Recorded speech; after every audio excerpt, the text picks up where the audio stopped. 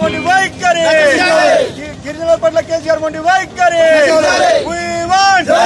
We want! We want! We want!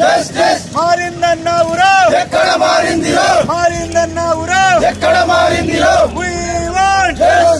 We want!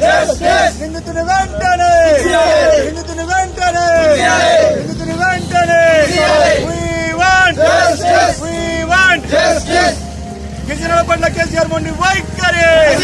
గిరిజనుల పట్ల కేసీఆర్ మొండి వైఖరి. గిరిజనుల పట్ల కేసీఆర్ మొండి వైఖరి.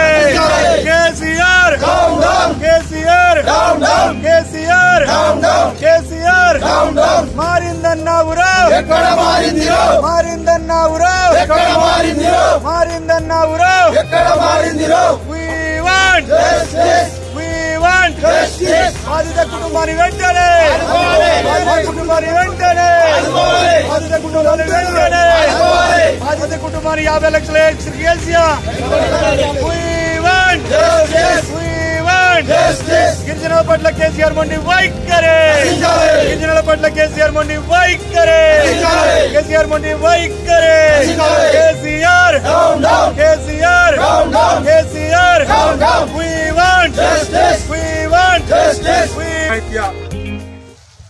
అత్యాచారం. దాని మీద హ- వినాయక చవితి రోజున హైదరాబాద్ నడిబొడ్డున జరిగిన వంటి సంఘటన యావత్ భారతదేశానికి ఇది చాలా భంగపాటు ఏంటంటే తెలంగాణ గవర్నమెంట్ వచ్చినాక ఈ గవర్నమెంట్లో ఆడవాళ్ళ మీద బాధ్యత కనీసం ఎలాంటి ఈ లేకుండా బాధ్యత లేకుండా పోతుంది. ఇలాంటి సంఘటనలు జరిగిన నడిబోటులో జరిగినా కూడా ఈనాటికి గిరిజన ఒక మంత్రి అయి మహిళ మండ మహిళ మంత్రి అయి కూడా బాధిత కుటుంబానికి ఈ రోజు వరకు పరామర్శించడానికి కూడా పోలేదు. అంతా దౌర్భాగ్యమా? అదే ఒక సినిమా యాక్టర్ కనీసం ఆయన అంతరాలు పడి హాస్పిటల్ పోయి అదే మంత్రులు పోయి పరామర్శిస్తారు కానీ అదే దళిత గిరిజనుల పట్ల మీ ముండి వైఖరి ఇదా? మీరు చేసే మీ దళితులకు గిరిజనులకు మేము అండగుంటామని చెప్పి ఎక్కడ ఉంటారు? ఈ ముండి వైఖరిని ఎమ్మడ నశించాలని చెప్పి డిమాండ్ చేస్తున్నాం.